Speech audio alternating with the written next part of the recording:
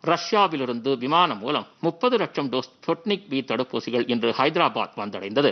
ஐம்பத்தாறு புள்ளி ஆறு டன் எடை கொண்ட இந்த தடுப்பூசிகளை ஏற்றி வந்த சிறப்பு விமானம் ஹைதராபாத் விமான நிலையத்தில் இன்று காலை மூன்று நாற்பத்து மூன்று மணிக்கு வந்திறங்கியது. ஒரே நாளில் இந்த அளவுக்கு தடுப்பூசிகள் இந்தியாவுக்கு தற்போதுதான் வந்து சேருவதாக கூறப்படுகிறது. விமானத்திலிருந்து இறக்கப்பட்ட தடுப்பூசிகள் அனைத்து நடைமுறைகளும் முடிவடைந்த பின்னர் தொண்ணூறு நிமிடங்களில் வெளியே அனுப்பப்பட்டது.